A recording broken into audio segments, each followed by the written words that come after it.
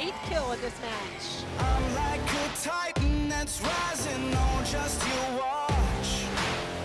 I'm stepping into. And it's going to be an ace for Hollann Hans, and Texas A&M takes set one over Penn State.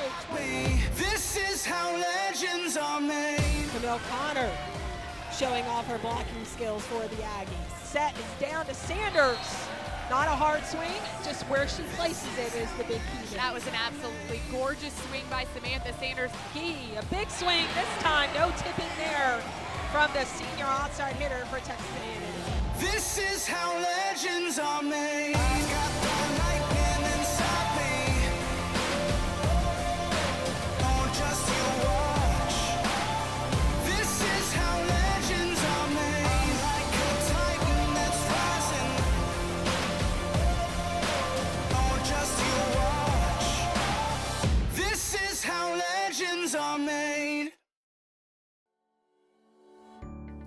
For Texas A&M volleyball, the 2017-2018 season brought on some new challenges. As the season unraveled, the Aggies found themselves put to the test, facing more than 5 top-ranked opponents from across the nation. It was a season of grit, endurance, and heart. Although the season didn't end the way the Aggies had hoped for, the future is bright, especially for four seniors that impacted this program on and off the court. It's been crazy. Like, it is so hard, and the season is so um, challenging, but playing volleyball here has been the best decision I've ever made.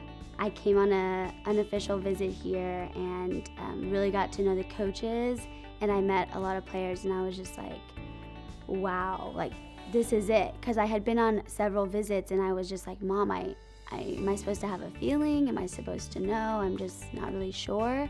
And when I came here, when I when we were driving out, I was like, okay, yeah, I want to be an Aggie. Like this is awesome. I, I want to play here. I want to be a part of this program.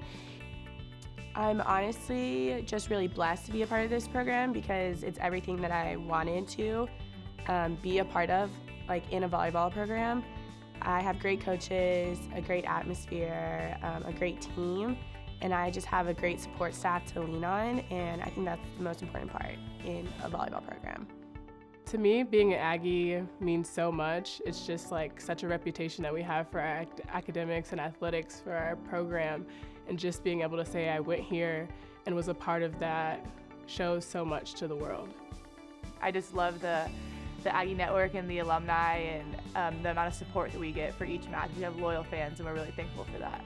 It's just been so great, and I can't imagine playing at any other school. It's just the just the feeling you get when you walk in the Reed Arena and the, the band playing and during warm-ups and we have the fight song playing. It's just, I get chills every single match and I'm, I'm just so thankful for the opportunity to play here. Their time in Aggie Land is coming to an end, and we thank them for all that they have done. It's true when they say that greater things do lie ahead.